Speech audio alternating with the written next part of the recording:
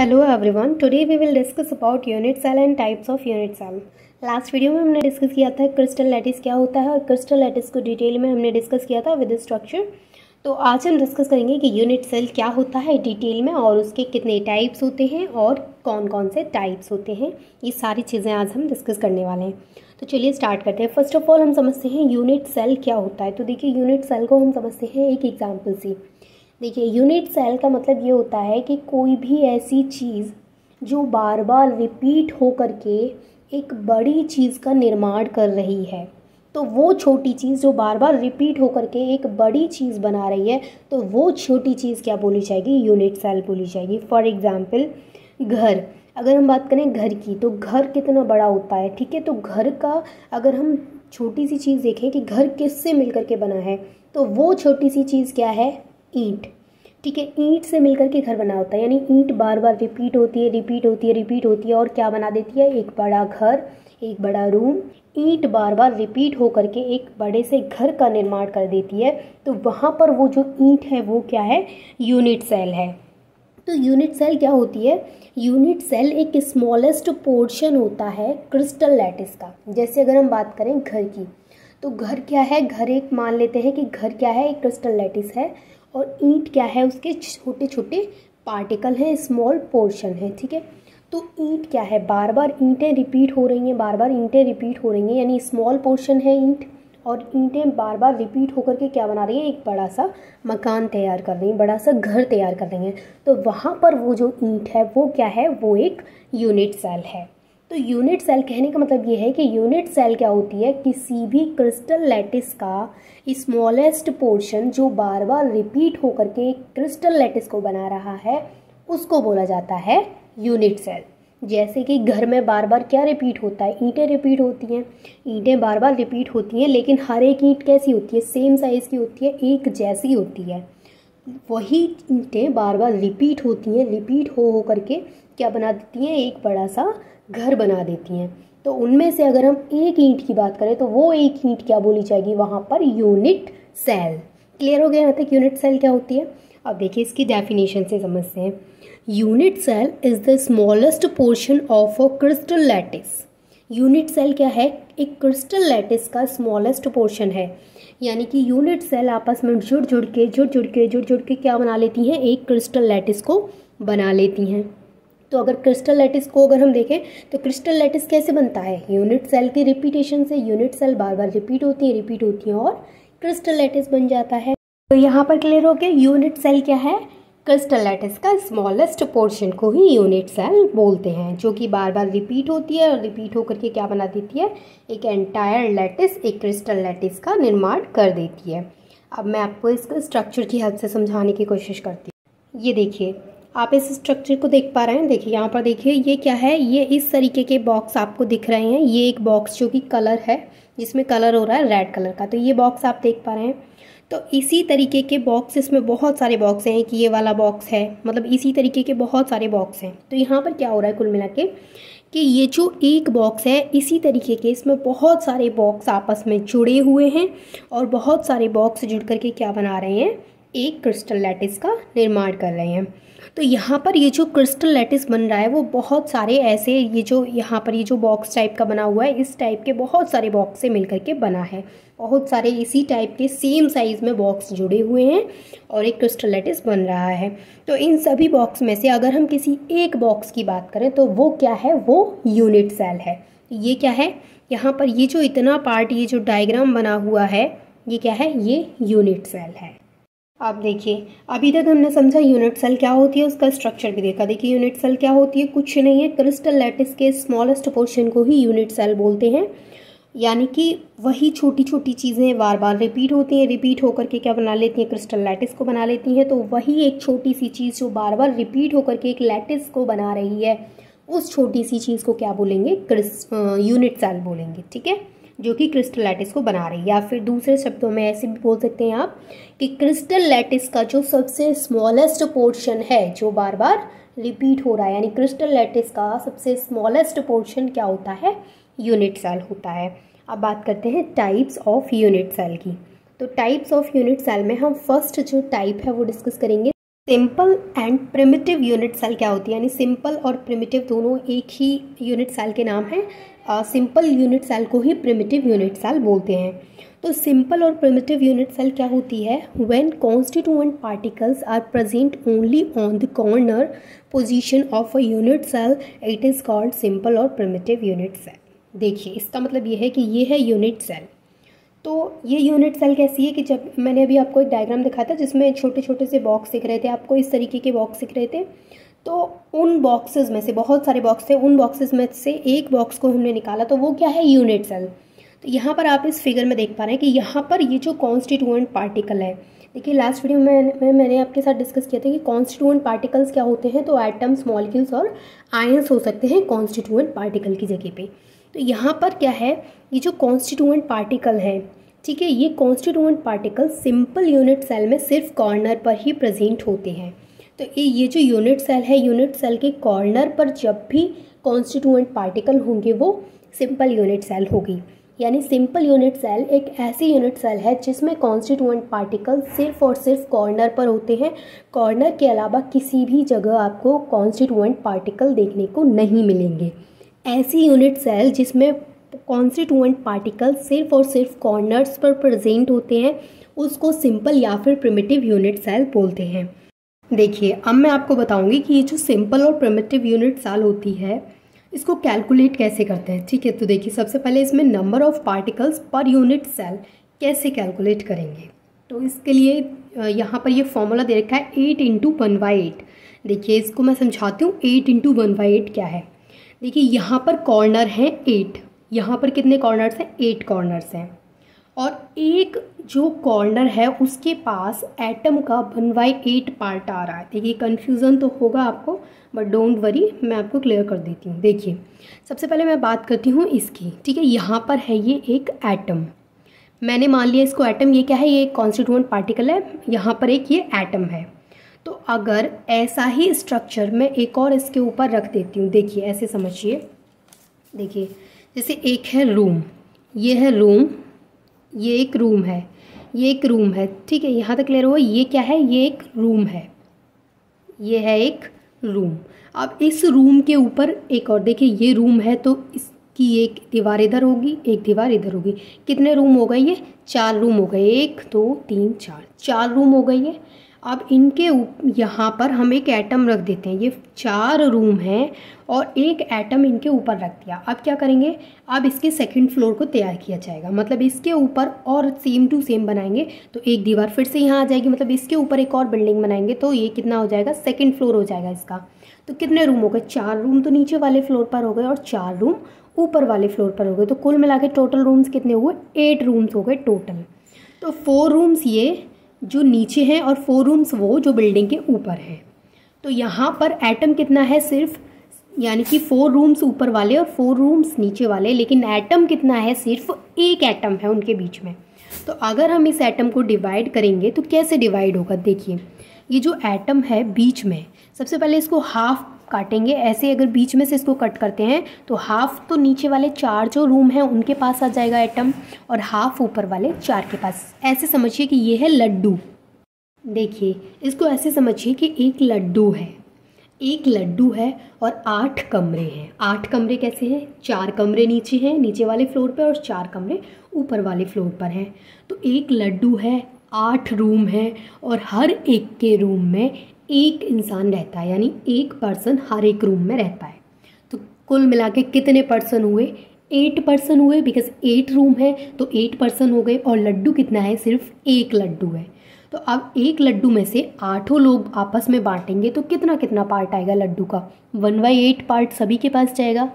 तो यहाँ पर क्या है? यहाँ पर समझिए कि एट तो कॉर्नर्स हैं। कॉर्नर्स कितने हैं? एट कॉर्नर्स हैं। लेकिन पर कॉर्नर अगर हम एटम के पार्ट को देखें कि पर कॉर्नर एटम का कितना पार्ट शेयर हो रहा है, यानी एक एटम के अगर हम, एक कॉर्नर के अगर हम शेयर की बात करें कि एक कॉर्नर के शेयर में एटम का कितना पार्ट आ रहा है, यानी अगर हम इस स्ट्रक्चर की बात करें तो एक रूम में जो एक पर्सन है, उसके शेयर में लड्डू का कितना पार्ट आ रहा है। तो कितना पार्ट आ रहा है? वन बाई एट पार्ट वैसे ही आप समझिए यहाँ पर कि एट कॉर्नर्स हैं। और एक कॉर्नर की अगर हम बात करें, यानी एट कॉर्नर हैं, अगर हम वन कॉर्नर की बात करें तो वन कॉर्नर के शेयर में जो एक एटम है, उसका कितना पार्ट आएगा? एक एटम है तो ज़ाहिर सी बात है वन बाई एट पार्ट आएगा।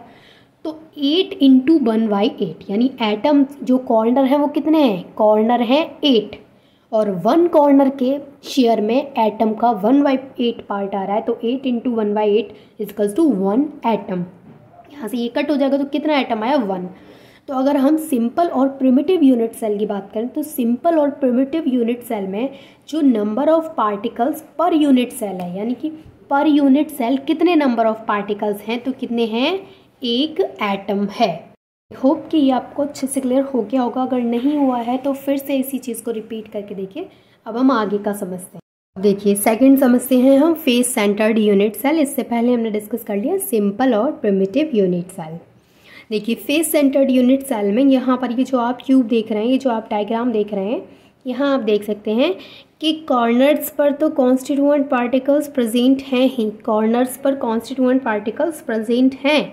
लेकिन इसके अलावा भी आप देख पा रहे हैं, यहाँ पर कुछ कॉन्स्टिट्यूएंट पार्टिकल्स और हैं। ये कहाँ पर प्रेजेंट हैं? देखिए अगर हम इस क्यूब की बात करें तो इसमें कितने फेजेस हैं? फेजेस अगर आप अपने रूम के फेजेस को काउंट करेंगे तो आप अपने रूम में देख सकते हैं कितने फेजेस हैं। सिक्स फेजेस होते हैं। तो आप इसको एज अ रूम मान के चलिए। तो ये जो क्यूब है, इसमें सिक्स फ़ेज़ हैं। देखिए वन तो एक फ़ेज़ तो ये वाला हो गया इतना। एक ये वाला हो गया दो, एक ये वाला हो गया तीन, एक ये वाला हो गया चार। उसके बाद एक पीछे वाला, पाँच और एक आगे वाला छः। तो कहने का मतलब ये है कि जो फेस सेंटर्ड यूनिट सेल है, देखिए फेस फेस से क्लियर हो रहा है कि यहाँ पर जो फ़ेज़ हैं, उन पर भी कॉन्स्टिट्यूएंट पार्टिकल प्रेजेंट होंगे। यहाँ पर कॉर्नर्स पर तो प्रेजेंट होंगे ही होंगे। देखिए in which the particles are present at the corners corners पर तो यहाँ पर पार्टिकल प्रेजेंट होंगे ही होंगे as well as at the centre of each of six faces of unit cell यहाँ पर जो कॉर्नर्स हैं, उन पर पार्टिकल्स होंगे, लेकिन कॉर्नर्स के अलावा भी सभी फेजेस के सेंटर में एक एक पार्टिकल प्रेजेंट होगा। यहाँ तक ये चीज़ आप क्लियर कर लीजिए कि सभी फेजेस के जो सेंटर हैं, उनमें एक एक पार्टिकल प्रेजेंट होगा। तो यहाँ पर कितने कुल मिला के अब इसको कैलकुलेट कैसे करेंगे? ये तो चीज़ क्लियर हो गई। यहाँ पर डेफिनेशन क्लियर हो गया और स्ट्रक्चर भी क्लियर हो गया। क्या क्लियर हो गया? कि यहाँ पर ये जो स्ट्रक्चर है, जो फेस सेंटर्ड यूनिट सेल होती है, उस यूनिट सेल में कॉर्नर पर तो कॉन्स्टिट्यूएंट पार्टिकल मिलते ही मिलते हैं। उसके अलावा जो फेजेस होती हैं, सभी फेजेस के सेंटर पार्ट में, सभी फेजेस के बीच में एक पार्टिकल और मिलेगा। क्लियर यहाँ तक? देखिए, अब कैलकुलेट कैसे करेंगे? तो सबसे पहले तो हम यहाँ के जो कॉर्नर्स हैं, उनको कैलकुलेट कर लेते हैं। तो कॉर्नर्स को तो हम सिंपल और प्रिमिटिव यूनिट सेल में भी कैलकुलेट कर चुके हैं तो मुझे लगता है वो आपको क्लियर है।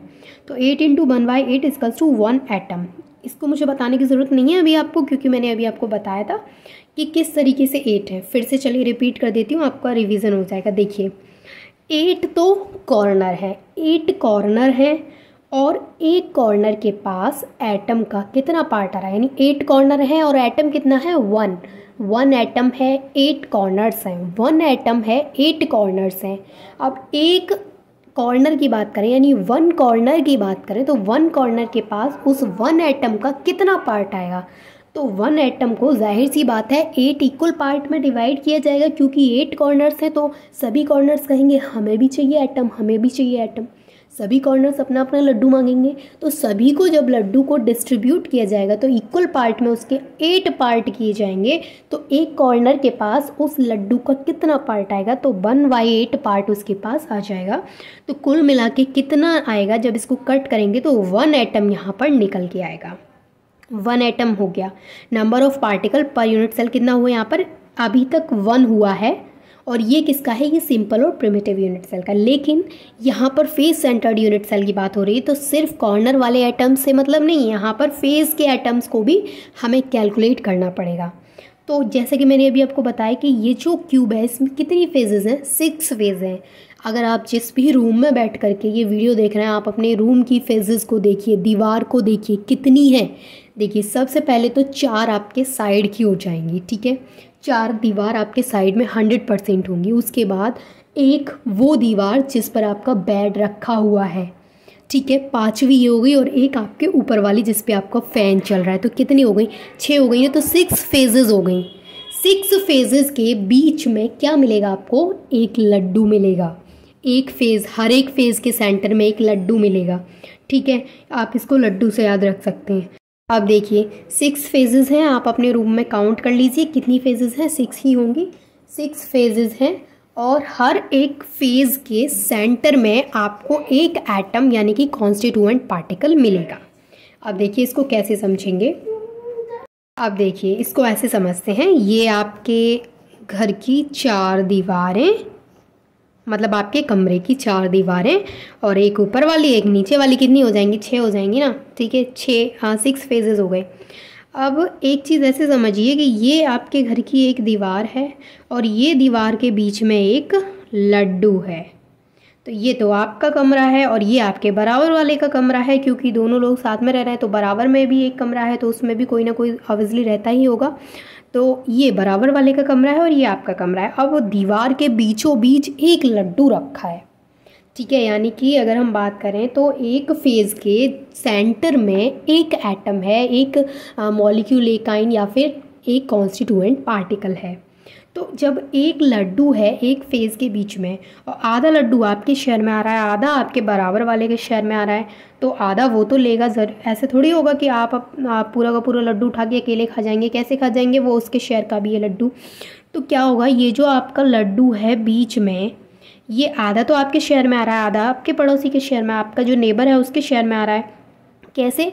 क्योंकि जो दीवार है, जो फ़ेज़ है, उसके बिल्कुल बीच में जो लड्डू है, वो दोनों के हिस्से में आएगा, बराबर वाले के में भी और आपके में भी।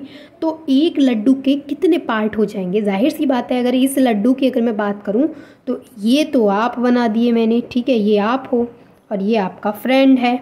अब आपके फ्रेंड और आप दोनों में लड़ाई हुई कि लड्डू बीच में है तो हम दोनों लेंगे, ज़ाहिर सी बात है, दोनों ही लेंगे, दोनों का शेयर आएगा इसमें। तो इस लड्डू का कितना पार्ट आपके पास आएगा और कितना इसके पास जाएगा? तो वन बाई टू पार्ट आपके पास आएगा वन बाई टू पार्ट इसके पास जाएगा। कुल मिला के सिक्स तो फेजेज़ हैं। कितनी फेजेज़ हैं? सिक्स फेजेज़ हैं। सिक्स फेजेज़ हैं और हर एक फ़ेज़ में जो सेंटर है, उसमें एक कॉन्स्टिट्यूएंट पार्टिकल है। सिक्स फेजेज़ हैं और एक इंसान के पास, यानी एक इंसान के पास वो जो एटम है, वो जो लड्डू है, उसका कितना पार्ट आएगा? वन बाई टू पार्ट आएगा। देखिए, यहाँ पर फिर से देखिए सिक्स फेजेज़ हैं। सिक्स फेजेज़ हैं और अगर हम एक फ़ेज़ की बात करें तो सिक्स फेजेज़ हैं और सिक्स फेजेज़ के बीच में, हर एक फ़ेज़ के बीच में क्या है? एक एटम है। तो एक उसका पार्ट जो है वो बराबर वाले के पास जाएगा और उसका दूसरा पार्ट बराबर वाले के पास जाएगा। दोनों आपस में डिवाइड कर लेंगे। तो one by two part one by two part but जाएगा। तो सिक्स फ़ेज़ हैं और बात करें एक इंसान के पास कितना पार्ट आएगा, उस लड्डू का तो वन बाई टू पार्ट आएगा। यानी कि सिक्स फ़ेज़ हैं और हर एक फ़ेज़ के बीच में एक लड्डू है। तो हर एक इंसान के पास उस लड्डू का वन बाई टू पार्ट जाएगा। आप खुद से इमेजिन करिए, खुद से सोचिए अपने रूम की जो वॉल है, जो फ़ेज़ है, उस पर एटम को सपोज़ करिए यहाँ पर लड्डू है और बराबर वाला भी रूम है, फिर खुद से सोचिए कि हाँ इसका पार्ट वन बाई टू आएगा कि नहीं आएगा। इसको कट करेंगे तो हो जाएगा टू थ्री से सिक्स तो थ्री एटम तो total number of atoms per unit cell यहाँ पर कितने आएँगे? तो थ्री तो ये हो गए और वन ये हो गया तो थ्री प्लस वन फोर तो फेस सेंटर्ड यूनिट सेल में आपको याद रखना है कि total number of atoms per unit cell four होते हैं। यानी पर यूनिट सेल अगर हम एटम्स की बात करें तो per unit cell face centred में फोर एटम्स होते हैं। सिंपल और प्रिमिटिव सेल में वन एटम होता है पर यूनिट सेल के बाद बात करते हैं थर्ड टाइप की। थर्ड टाइप है बॉडी सेंटर्ड यूनिट सेल देखिए बॉडी सेंटर्ड यूनिट सेल क्या होता है? बहुत ही सिंपल है। बॉडी सेंटर यानी कि बॉडी के सेंटर में एक कॉन्स्टिट्यूएंट पार्टिकल मिलेगा ही मिलेगा। देखिए in which the particles are present at the corners as well as at the centre of the unit cell देखिए, बहुत ही सिंपल तरीके से समझाती हूँ आपको। आप बैठे हैं रूम में। आप रूम में ही बैठे होंगे। कहीं से भी बैठ के देख रहे होंगे। रूम ही होगा हॉल होगा, कुछ भी होगा रूम ही होगा ना। तो आप देख रहे हैं रूम में बैठ करके ये वीडियो आप जिस रूम में बैठे हैं, उसमें कितने फेजेस हैं? उसमें फेजेस हैं सिक्स जैसा कि मैंने अभी आपको बताया था। और उस रूम के कॉर्नर्स को भी काउंट कर लीजिएगा ज़रा। उस रूम के कॉर्नर्स कितने होंगे? एट कॉर्नर्स होंगे। एट कॉर्नर्स होंगे और उसमें सिक्स फेजेस होंगे। अब देखिए, उसका जो सेंटर की अगर हम बात करें तो रूम के बीच में, बिल्कुल रूम के बीच में आपको क्या डालना है? अपने बेड को डाल देना है। रूम के बिल्कुल बीच में अगर आप बेड को डालेंगे तो क्या उस बेड पे किसी बराबर वाले किसी नेबर का हक होगा? नहीं होगा ना, क्योंकि वो किसी वॉल पर तो नहीं है। जैसे सेपरेट जैसे वॉल होती हैं तो क्या होता है कि एक ही वॉल शेयर में होती है, दूसरे नेबर के भी और हमारे भी। तो वैसा तो नहीं है, क्योंकि जो बेड है, वो आपके बिल्कुल रूम के बीच में है। तो उस रूम पे सिर्फ़ और सिर्फ़ आपका हक है। वो रूम कोई नेबर नहीं ले सकता, यानी उसको शेयर कोई कर ही नहीं सकता। कैसे कर लेगा शेयर आपके रूम में जस्ट बीच में जो बेड पड़ा है, वो सिर्फ़ आपका रहेगा, क्योंकि वो किसी वॉल पर तो है नहीं है कि बराबर वाले को भी शेयर देना पड़ेगा, क्योंकि उसकी भी शेयर की बॉल है वो। ऐसा किसी भी दीवार पे तो नहीं है ना बेड के आप किसी भी दीवार पे आपने बेड रख दिया तो अब बराबर वाला जो आपका नेबर है, वो आकर बोलेगा कि ये जो बेड है, वो इस दीवार पे रखा है, और ये दीवार तो आधी मेरी भी और आधी तुम्हारी भी है तो बेड के दो पार्ट कर लो, फटाफट से आधा मुझे दो बेड आदत तुम ले लो। ऐसा नहीं होने वाला है, क्योंकि जो बेड है, वो कहाँ है? वो सिर्फ़ आपके रूम के बीच में पड़ा है तो उस पर सिर्फ़ और सिर्फ़ आपका हक है। कहने का मतलब ये है कि बॉडी सेंटर्ड यूनिट सेल में जो कॉन्स्टिट्यूएंट पार्टिकल्स हैं, वो एटम वो जो कॉन्स्टिट्यूएंट पार्टिकल्स हैं, वो कॉर्नर्स पर तो प्रेजेंट होते ही होते हैं। कॉर्नर्स के अलावा बॉडी के सेंटर में एक कॉन्स्टिट्यूएंट पार्टिकल और होता है, जैसे कि आपका बेड ठीक है? अब देखिए अब जो बेड है, वो एक है, यानी कॉन्स्टिट्यूएंट पार्टिकल जो बॉडी के सेंटर में है, एक। अब उसको कोई शेयर नहीं करेगा। कोई शेयर नहीं करेगा तो वो अकेला आपके पास रहेगा। तो जो सेंटर में है, वो वन इंटू वन हो जाएगा, क्योंकि अब तक तो हम देख रहे थे कि एट कॉर्नर हैं और एक कॉर्नर के पास एटम का वन बाई एट पार्ट आ रहा है। लेकिन यहाँ पर तो सेंटर में एक ही एटम है और वो सिर्फ़ और सिर्फ़ आपका ही है। सेंटर में एक ही बेड है और वो सिर्फ़ और सिर्फ़ आपका ही है। ठीक है तो यहाँ पर सबसे पहले कॉर्नर को आप कैलकुलेट कर लेंगे तो वही सेम वन एटम आ जाएगा, उसके बाद बॉडी के सेंटर में एक है और वो किसी के शेयर का नहीं तो वन इंटू वन हो जाएगा। तो total number of atoms per unit cell यहाँ पर टू हो जाएँगे। क्लियर हो गया?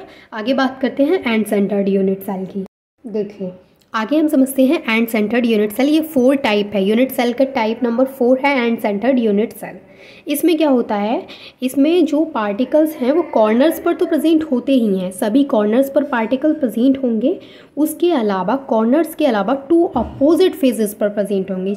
आप जिस रूम में बैठे हैं, वहाँ एक वॉल और फिर उसके जस्ट अपोजिट दूसरी बॉल को देखिए। यानी अपनी जस्ट यानी जिस तरफ़ आप फेस करके बैठे हैं। एक तो वो वाली बॉल को देखिए और एक आप अपनी बैक साइड की बॉल को देखिए। वो दोनों क्या है? एक दूसरे के जस्ट अपोजिट हैं। तो उन दोनों वॉल्स पर दो लड्डू रखे हैं। तो उन दोनों वॉल्स पर जो दो लड्डू रखे हैं, उनको कौन कौन शेयर करेगा? आप और आधा लड्डू किसका होगा? आपके पड़ोसी का। यानी जिसकी भी, जिसके भी शेयर में वो दीवार आ रही होगी उसका हो गया आधा लड्डू आधा लड्डू आपका हो गया। तो दो जो एटम्स हैं, जो दो कॉन्स्टिट्यूएंट पार्टिकल हैं, वो अपोजिट जो फेजेस हैं, उनके बीच में मिलेंगे। कॉर्नर्स पर तो मिलेंगे ही मिलेंगे एंड सेंटर्ड यूनिट सेल में। कॉर्नर्स के अलावा जो दो अपोजिट फेजेस हैं, उनके बीच में भी आपको कॉन्स्टिट्यूएंट पार्टिकल देखने को मिलेंगे। यानी दो कॉन्स्टिट्यूएंट पार्टिकल और देखने को मिलेंगे, वो भी अपोजिट फेजेस पर। अब अपोजिट फेजेस पर देखने को मिलेंगे तो टू तो एटम वाला तो आप कैलकुलेट कर लेंगे एट कॉर्नर्स हैं और one by eight part per corner आ रहा है एटम का। तो वन एटम यहाँ पर कैलकुलेट कर लिया। अब देखिए टू फेजेस हैं टू अपोजिट फेजेस हैं और वन फ़ेज़ पर, यानी टू अपोजिट फेजेस हैं, और उसको शेयर करके देखेंगे तो हाफ़ तो आपके पास आ जाएगा और हाफ़ आपके बराबर वाले के पास जाएगा तो one by two part share में आएगा। तो यहाँ से आ जाएगा वन एटम तो जो एंड सेंटर्ड यूनिट सेल होती है, उसमें total number of atoms per unit cell two होते हैं। ये आपको अच्छे से क्लियर हो गया होगा आई होप अगर नहीं हुआ है तो आप मुझे कमेंट करके बताइएगा। मैं फिर से कोशिश करूँगी कि आपको ये अच्छे से क्लियर हो जाए। And thanks for watching this video